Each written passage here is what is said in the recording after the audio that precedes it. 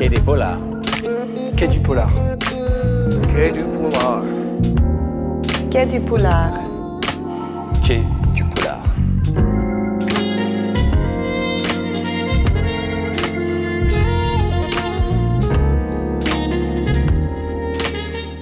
The, the, the story is very simple. It, it's, it's, it, it, it begins with uh, the death uh, of a homeless young woman uh, who lives on the streets of Cape Town.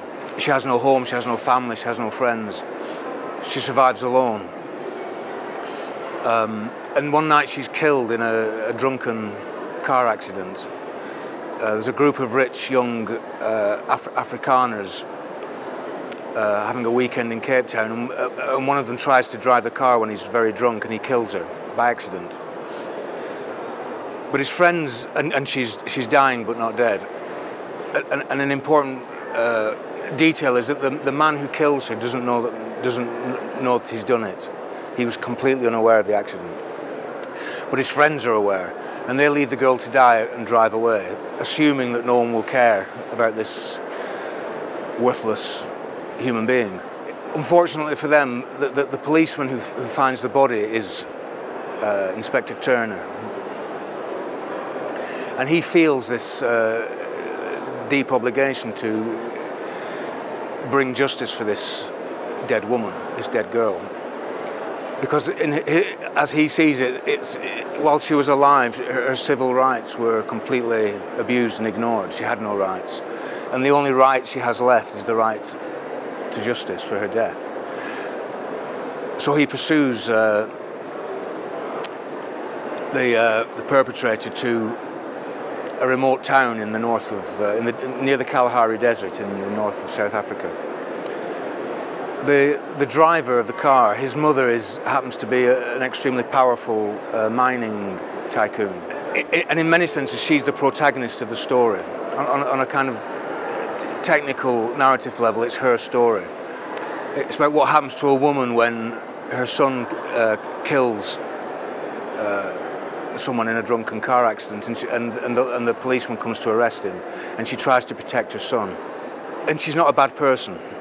Th- There are no real villains in the story, which is partly what attracts me to it.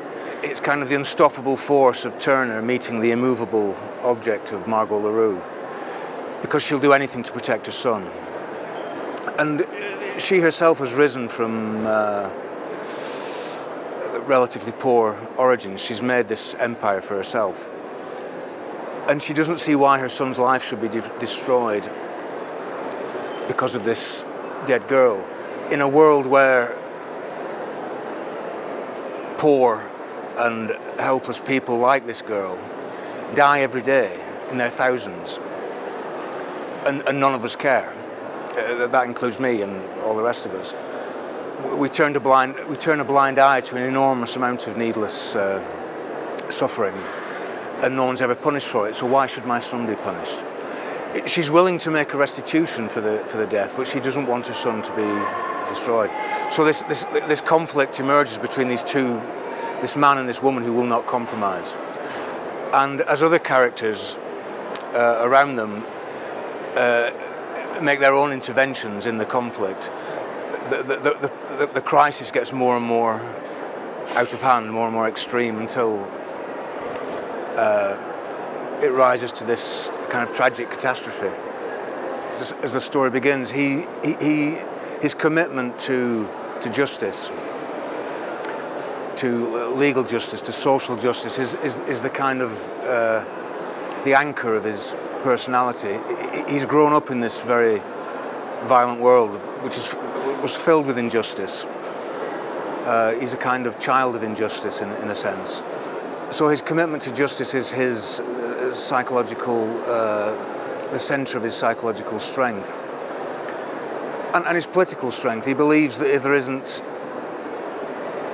true justice for everyone, South Africa, uh, and, and by extension the world, can never be a civilised place. So he has his own personal reasons for commitment to justice, but also his moral reasons to be committed to justice. The complexity of the story challenges that conviction in him. Part of the idea of the story is, is to illustrate the way that conflicts escalate from small beginnings into, into, into great catastrophes, uh, which happens on a small level. It happens on a, also happens on a gigantic geopolitical level with, with wars. And it's also, uh, in some sense, an exploration of uh, inequality, which is, I think, a, a, major political problem in the modern world. The novel has a, a very uh, complex social fresco. There's, there's, representatives of many different layers of society. In that microcosm, there's a, there's a kind of allegory of, of, of the much larger uh, global problem. How should we deal with this great disparity in, in wealth and injustice? Uh, because the, the, law isn't uh, even. The law favours the rich, it always did, of course. But on, on, a, on a larger geopolitical level, we in the West uh, profit from and exploit most of the rest of the world's population. So there's lots of different allegories working in the, in, in the story. Turner's confronted with a, a, kind of impossible moral problem uh, because he, he, he, has to decide uh, whether to compromise his, the purity of his ideals in order to survive. So in a, in as one of the other characters points out, he has to face the law of the land, the law of, of survival, the most, the oldest law, the most primitive law. Because in this very primitive environment, human uh, structures of law no longer no longer apply. So, as he says himself near the beginning of the novel, he has to this. He always thought he was a good man, but now he's not so sure. And and that challenge is also presented to the reader, who is right and who is wrong in this story.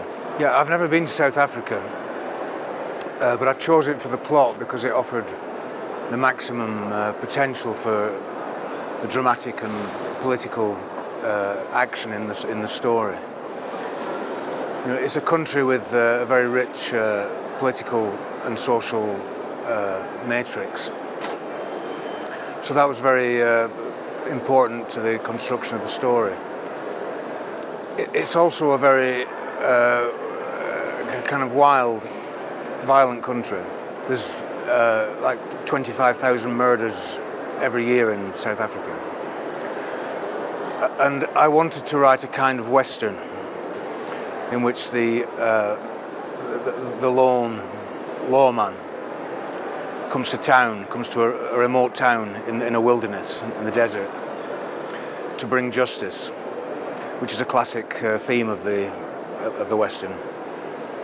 So, so, that was another reason for setting it in South Africa because uh, such towns and such uh, landscapes exist.